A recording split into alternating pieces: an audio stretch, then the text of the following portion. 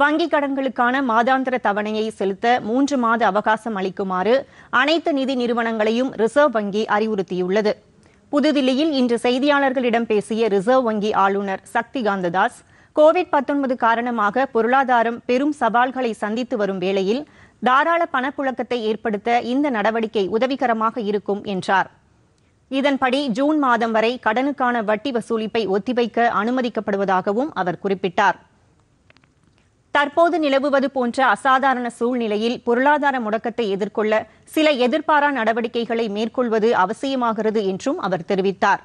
வட்டி வசூலிப்பை தாமதப்படுத்துவதன் மூலம் மூன்று லட்சத்து எழுபத்து நான்காயிரம் கோடி ரூபாய் பணப்புழக்கத்திற்கு வழிவகுக்கும் என்றும் அவர் குறிப்பிட்டார். தாமதமாக வட்டி செலுத்துவதை கடன் நிலுவையாக கருதப்பட மாட்டாது என்றும் இது கடன்தாரரின் கடன் வரலாற்றில் எந்த பாதிப்பையும் ஏற்படுத்தாது என்றும் அவர் கூறினார்.